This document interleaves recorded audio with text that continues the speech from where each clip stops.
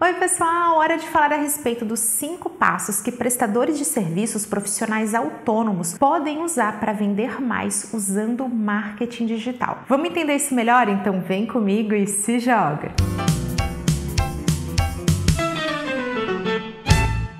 E antes da gente começar, tem convite especial. Clique e se inscreva para ficar por dentro de todo o conteúdo que eu compartilho por aqui, porque é grátis, não tem glúten e faz super bem. Esse passo a passo que eu vou indicar aqui para vocês é super útil para prestadores de serviço, para os profissionais autônomos, especialmente porque ele compõe um marketing muito elegante. Aquele marketing que nem parece marketing. É aquela história de vender sem vender. E essa fórmula, esse modelo, ele tende a funcionar muito bem para quem presta serviço. Tudo isso acontece justamente pelas características de quem presta serviço. Então vamos lá, ao longo do passo a passo você vai entender isso melhor, mas vamos ter aqui em mente que o principal objetivo de um prestador de serviço, de um profissional autônomo, na hora de compor o seu marketing, especialmente o digital, é ser percebido como a melhor solução. E isso tem tudo a ver com autoridade e com as outras dicas que a gente vai ver aqui. Então, vamos lá para o nosso primeiro passo. Você vai passar a ter foco nos problemas que você resolve e não nos seus próprios problemas. Isso sempre aparece nas dúvidas de vocês. Então, Camila, como é que eu faço para ganhar dinheiro usando marketing digital? Como é que eu faço para divulgar os serviços que eu presto? Gente, essa ótica, esse enfoque, ele não é o mais aconselhável para você você que busca ter resultados. O ideal é que você passe a olhar para o problema do seu cliente, do seu potencial cliente. Isso parece clichê, parece uma dica boba, mas olha, na prática ela funciona. Isso porque a venda, o negócio que você vai fechar é o encontro de alguém que tem um problema com você que tem a solução. Quando a gente passa a dar esse enfoque maior ao problema da nossa audiência, tirando assim essa luz que a gente coloca sobre o nosso próprio problema, a gente passa a transmitir conhecimento, conteúdo e até credibilidade de uma forma menos desesperada. Estou fazendo aqui entre aspas. Parece que você consegue suavizar o seu marketing, deixar tudo mais fluido, mais leve. E aí, quando você começa a olhar para o problema da sua audiência, do seu cliente, do seu potencial cliente, começa a surgir muitas ideias. Você começa a criar realmente conteúdo e um marketing que traz melhores resultados. Segundo segundo passo, você vai se tornar um especialista. Ser um especialista te ajuda a ser percebido como a melhor solução, justamente porque te ajuda a construir autoridade, aquele que sabe o que faz. Como que você pode fazer isso? Você vai passar a responder dúvidas nas redes sociais, através de vídeos. Então você vai começar a trazer um conteúdo mais rico, mais profundo. A prestação de serviço, ela tem ali aquela característica de ser intangível é diferente de um produto que você mostra, que você fala as características. É difícil experimentar um serviço. Então, o risco de quem está comprando, de quem está consumindo, é sim maior, ou pelo menos é percebido como maior. Então, a partir do momento que você transmite conhecimento, que você mostra que sabe, que você explica conceitos, que você tira dúvidas, que você realmente gera esse conteúdo parecido com o que eu estou fazendo aqui, você vai conseguir transmitir essa credibilidade, essa autoridade, ter melhores resultados. Terceiro passo passo, encontre um nicho, aquele segmento de mercado, aquele grupo de pessoas ou de empresas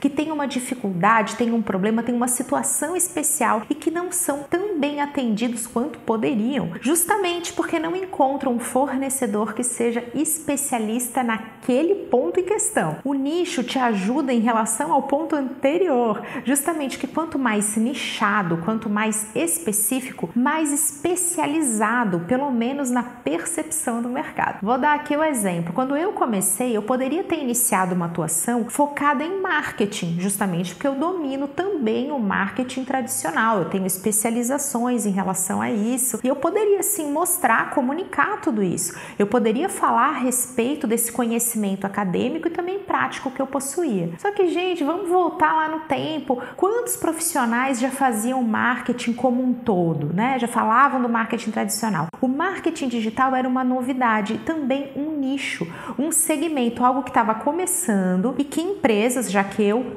tenho uma atuação como consultora que atende outras empresas, é o B2B organizacional. O que, que eu fazia? Eu falei, não, eu vou ser desse nicho aqui, eu vou fazer marketing digital. Eu tenho um conteúdo só sobre nichos que vai te ajudar justamente a trazer isso para sua estratégia. Quanto mais nichado, mais especializado. Quarto passo, a sua marca, o seu marketing pessoal. Sim, é sobre você. Mesmo que a sua marca não seja uma marca pessoal, como é o meu caso, então o nome da minha marca é o meu nome, Camila Renault, você tem que lembrar que prestação de serviço é sobre quem presta o serviço. A pessoa que vai te contratar, a empresa que vai te contratar, ela não vai fazer só a partir daquilo que você faz ali de tangível, sabe? O problema que você resolve. Tem a ver também com o prestador. Gente, isso acontece porque você não consegue prestar o serviço sem a participação do prestador e também do cliente. É diferente de um produto que você pode falar, ah, não gosto daquele comercial, mas eu gosto do produto, ou ah, nem gosto de ir naquela loja, mas eu gosto desse produto. E aí você meio que desassocia, você separa as coisas. Aqui no caso da prestação de serviço, sempre vai ser sobre você, sempre vai ter o envolvimento das pessoas. Gente, isso também vale para a equipe de vendas. Vender é prestar um serviço justamente consultivo,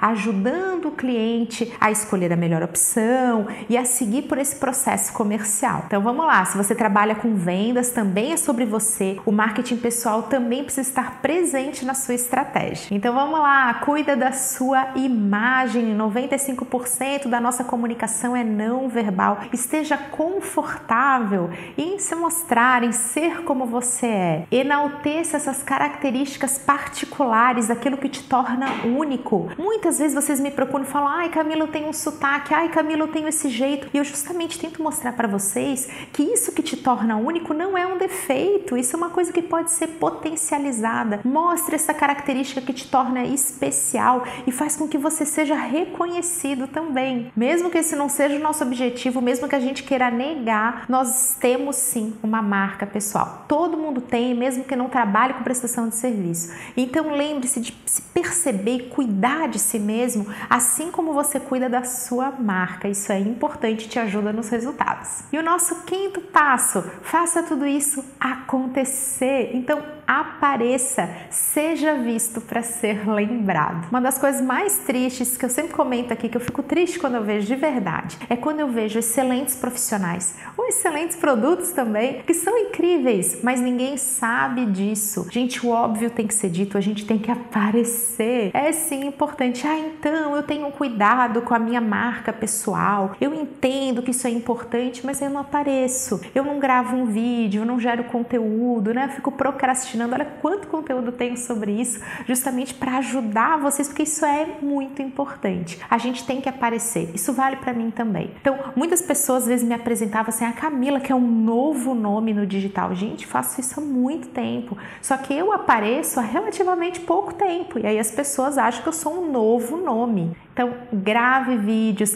Vocês falam, ah, é obrigado a gravar vídeo. A gente não é obrigada a nada, mas se você quer ter resultados mais rápidos, mais expressivos, sim, é importante aparecer nos vídeos. Né? Tudo a gente vai normalizando. Eu tenho conteúdos aí mostrando isso para vocês. Se vocês puderem aparecer, manter todo o conteúdo de redes sociais sempre atual. Quanto mais a gente é visto, mais a gente é lembrado. Isso é importante para os seus resultados. Eu quero me despedir de vocês com uma frase que marcou demais a minha vida, que é fazer tudo isso dá trabalho? Claro que dá trabalho, mas não ter resultados também dá muito trabalho. E aí, que tipo de trabalho você quer ter? Eu espero que vocês tenham gostado e que esse conteúdo te ajude a gerar melhores resultados também. Um super beijo, até a próxima!